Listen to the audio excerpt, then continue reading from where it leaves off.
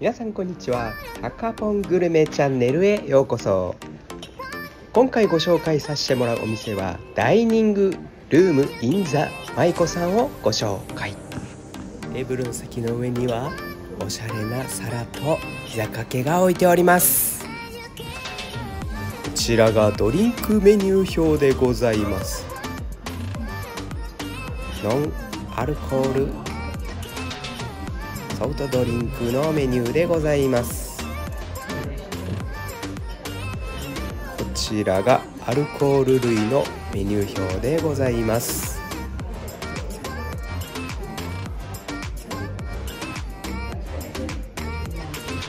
今回いただくコースメニューご招待用でございます。神戸ポークのメニューをくぬぎ座牛に変更しております。とても楽しみですね。1周年記念日でした。おめでとうございます。いつもありがとうございます。今回いただいたのは島コーラです。最初にいただいたのはバターナッツフォアグラです。次にエビス餅豚です。次にハリーカ冬瓜でございます。前菜はいくらでも食べれますね。次にいただいたのは柴山さんの西洋野菜前どれ魚介でございます。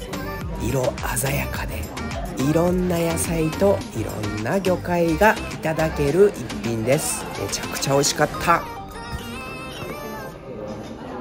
ちら途中から出てくるこのパンもとても美味しいです。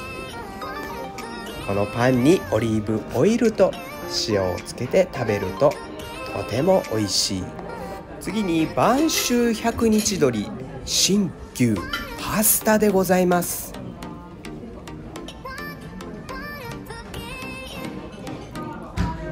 ちらこのパスタがとてももちもちしており百日鶏との相性抜群でございました。次に鈴木バルナスしらすウンドゥーヤでございます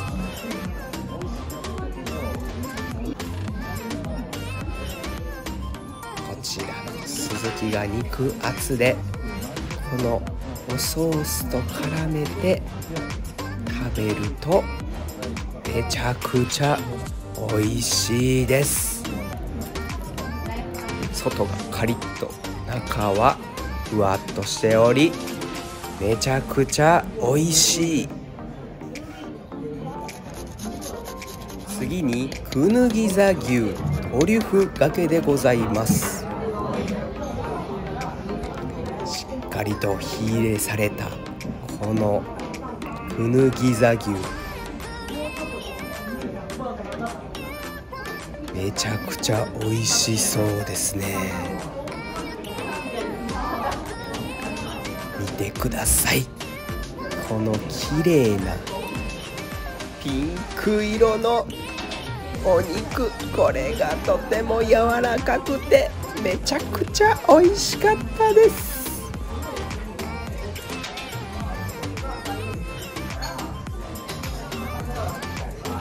次に大村農園の麦茶ブラッドオレンジでございます。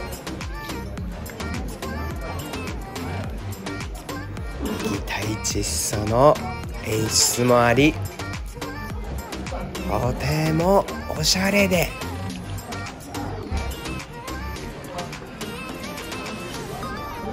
たまりません